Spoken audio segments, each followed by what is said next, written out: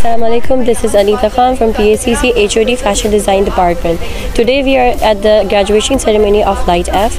We have been a great support for the fashion design project and our representation has been really strong over here. So I'm really impressed with our students and the representation over here. Thank you.